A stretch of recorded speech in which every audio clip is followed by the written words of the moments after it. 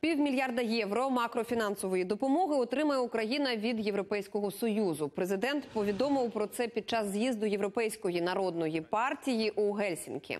Петро Порошенко зустрівся із президентом Єврокомісії Жан-Клодом Юнкером та головою Європейської ради Дональдом Туском.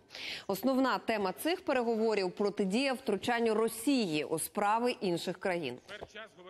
Я закликав лідерів Європи обов'язково мобілізуватися, забезпечити єдність і продовжити санкції проти Російської Федерації в зв'язку з відсутністю будь-якого прогресу щодо імплементації мінських домовленостей, забезпечення режиму твердого припинення огня і виведення російських військ і російської артилерії з української території е, забезпечити прогрес в частині звільнення заручників, які незаконно утримуються на окупованих територіях і тюрмах в Росії на території окупованого Криму.